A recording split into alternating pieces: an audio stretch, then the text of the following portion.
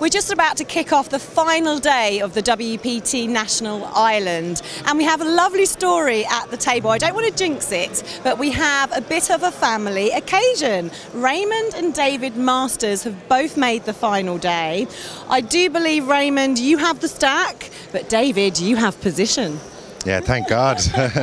he's a tough player. He's, you know, he's pretty solid. So I'm just going to have to try and uh, stay out of his way for uh, until I've got the goodies, and that's all there is to it. Hopefully, I don't uh, take him out, but if it comes down to it, it comes down to it. That's all there is to it.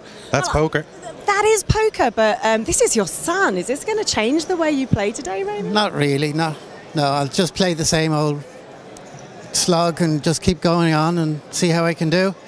At least I can say he taught me all I know about poker, so now, this was this was my next question. So I'm assuming your dad taught you this lovely game. Yeah, he introduced me to the game. All right, yeah, and. Uh, between the two of us, no, we've we've helped each other throughout the years to play online and, and live, give each other tips and so on and so forth. So, yeah, I mean, yeah, it's a family thing.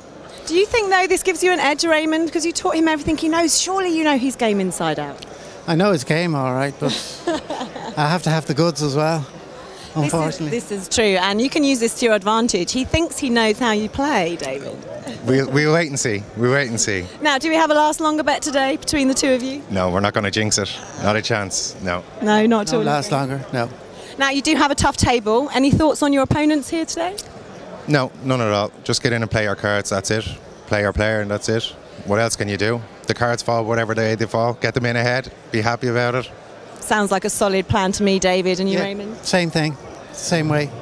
It's a tough table. It's the toughest of the two tables, I think. And um, we'll see how it goes. Well, I, I have to say, I desperately hope you both make the final table and get right up there at the top. I'd love to see one of you on that winner's podium today. Well, heads up would be a classic.